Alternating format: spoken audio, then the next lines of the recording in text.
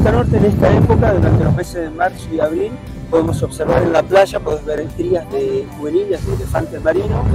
eh, colonias de lobos marinos con las crías nacidas durante el mes de enero, que ya tienen dos meses de vida, y en esta época, principalmente con la marea alta, hay muchas chances de poder observar orcas. Las orcas lo que hacen dentro de su dieta se alimentan de las crías de lobos y elefantes marinos.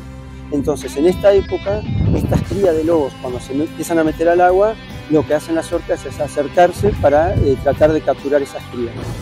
Se tienen que dar varias condiciones, principalmente las condiciones del mar, que no haya mucho oleaje, que no haya mucha rompiente, que el mar esté medianamente calmo,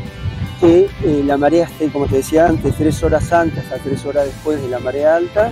que haya crías de lobos marinos en el agua y que se haya presencia de orcas.